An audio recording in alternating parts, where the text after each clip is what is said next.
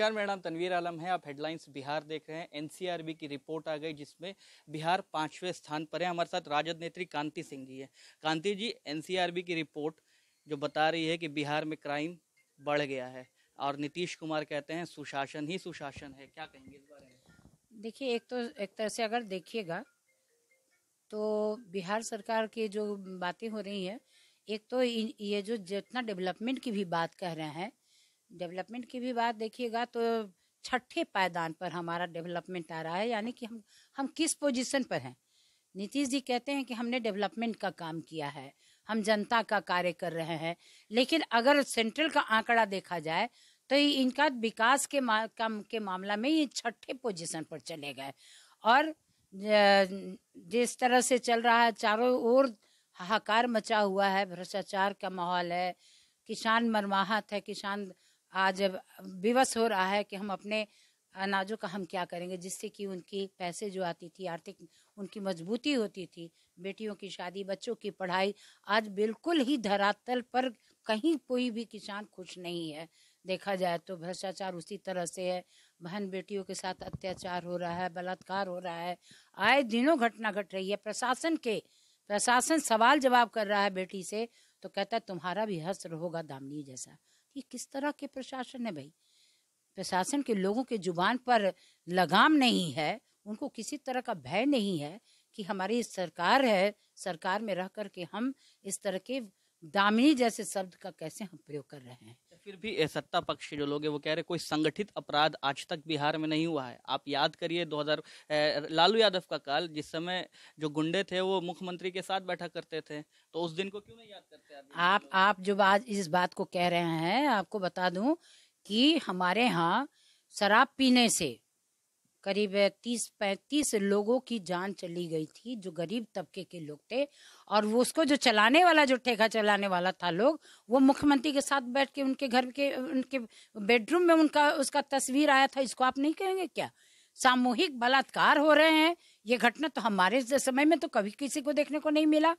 ये सामूहिक बलात्कार क्या हो रहा है? ये बहुत बड़ा ये अपराध नहीं है क्या? बेटी पढ़ाओ, बेटी बचाओ की बात नारा लगाते हो आप?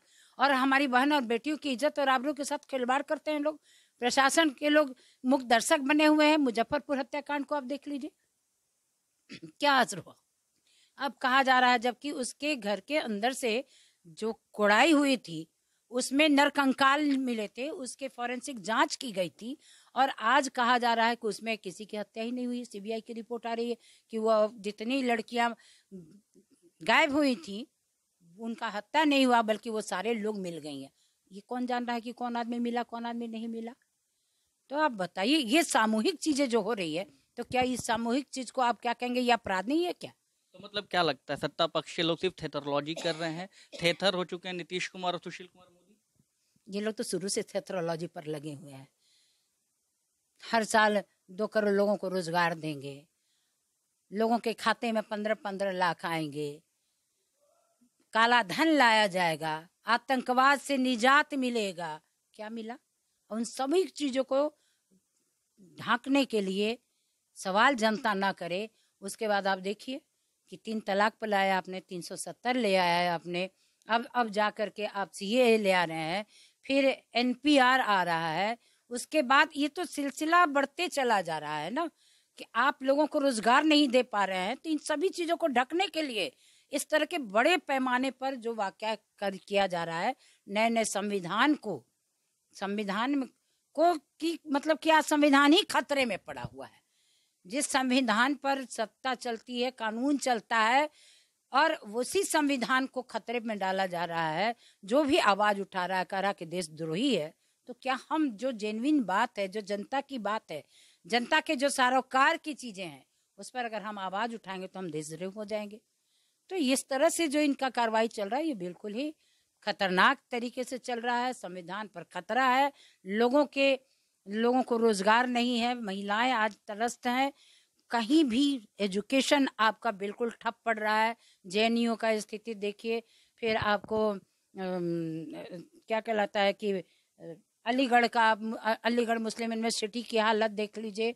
कहीं भी देखिए, एक एक तरह से नकाब लगा करके जो बेटियों को जो स्टूडेंट को मारा जा रहा है छात्रावास में घुस घुस करके जो कि इंस्टीट्यूट सुरक्षित थी जहाँ गरीब के बच्चे पढ़ते थे आ, उन सभी चीज़ों को एक तरह से समाप्त करने की साजिश चल रही है।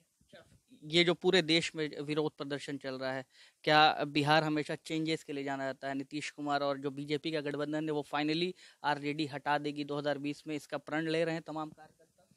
देखिए जनता तो उतावला हो चुकी है और जनता बिल्कुल ही सड़कों पर उतर चुकी है। गाँव गंवई से निकल कर के सड़क पर जब जनता आ जाती है, जन आंदोलन हो जाता है तो कोई भी कितना भी क्यों न शक्तिशाली हो। महँगाई आप देख रहे हैं, प्याज उतना ही महँगा, आलू उतनी ही महँगी, दाल उतना ही महँगा, लोग खाएगा क्या?